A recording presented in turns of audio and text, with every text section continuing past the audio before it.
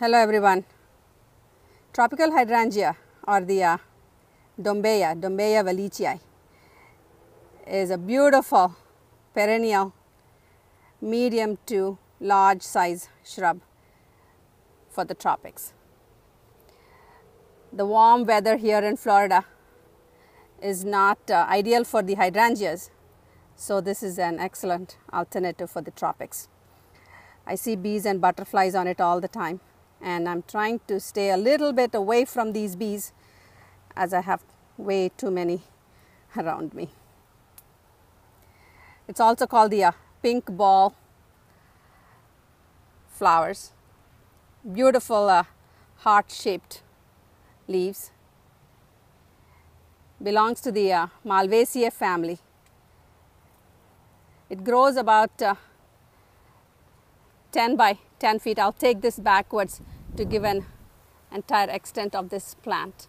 It's a beautiful, beautiful plant. I would definitely have this if I had a garden that I wanted to support bees only. I've grown this plant for many years. As I said, it ideally should be 10 by 10 feet, so I don't have this anymore. Has a beautiful, uh, many variations of uh, pinks I see on this. I think there is also white variety and uh, has this soft uh, floral or a powdery smell to it. They say uh, it smells like a cake or a fresh, uh, fresh uh, baked cake, but I really think it's more uh, of a floral smell. These bees are buzzing right behind my ears, making me a little nervous, but I think they've seen me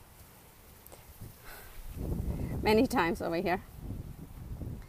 Beautiful shrub for the tropics. Thank you for watching.